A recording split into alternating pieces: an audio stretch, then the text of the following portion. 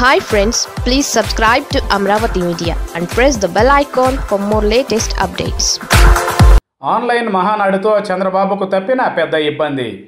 ఒక రాజకీయ పార్టీ ఆన్లైన్లో ఇంత భారీ స్థాయిలో మీటింగ్ ఏర్పాటు చేయడం దేశ చరిత్రలో ఇదే తొలిసారి. టెక్నాలజీని ఎలా ఉపయోగించుకోవాలో చంద్రబాబుకు తెలిసినందుకే ఎవరికీ తెలియదు. ఆన్లైన్లో దేశ విదేశాల కార్యకర్తలను జూమ్ యాప్ ద్వారా ఏకం చేయడం మామూలు విషయం కాదు. కరోనా సమయంలో కూడా మహానాడు విషయంలో వెనక్కి తగ్గకపోవడం చంద్రబాబు మేధావితనానికి నిదర్శనం. గత రెండు మూడు రోజులుగా టీడీపీ అనుకూల మీడియాలో హోరెత్తుతున్న వార్తలు కథనాల తాలూకు సారాంశాలు. ఇది నాణానికి ఒక పక్కే అని పలువురు అభిప్రాయపడుతున్నారు. అది ఎలా అనేది ఇప్పుడు చూసినట్లయితే కరోనా సమయంలో తన రాజకీయ జీవితంలో మునుపెన్నడూ లేనంత అపఖ్యాతిని చంద్రబాబు మూటగట్టుకున్నారు అనే కామెంట్లు వినిపిస్తున్నాయి.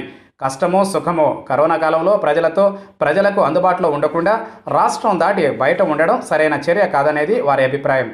ఆ సంగతి అలా ఉంచితే కరోనా సమయంలో ఆన్లైన్ మహానాడు చంద్రబాబుకు బాగా కలిసి వచ్చిందనే చెప్పాలి. ఎందుకంటే ప్రస్తుతం పార్టీ పరిస్థితి యువకుడైన లోకేష్ ప్రవర్తన చంద్రబాబు పనితీరుపై పార్టీలోని కొందరు నేతలు రెండు వేల పంతొమ్మిది ఎన్నికల ఫలితాల అనంతరం కార్యకర్తలు గుర్రుగా ఉన్నారనే కామెంట్లు బలంగా వినిపిస్తున్నాయి.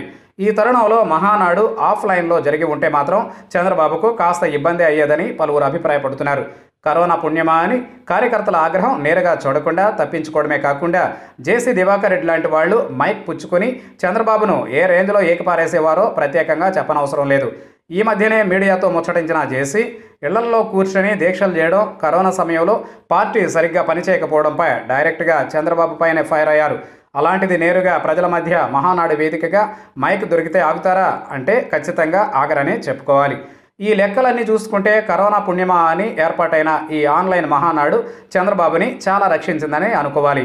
అలా కాని పక్షంలో ఇప్పటి వరకు ఊహించిన ప్రమాదాలు అన్నీ జరిగి చంద్రబాబు పరువు మహానాడు వేదికగా అల్లకల్లోలం అయ్యేదని పలువురు అభిప్రాయపడుతున్నారు.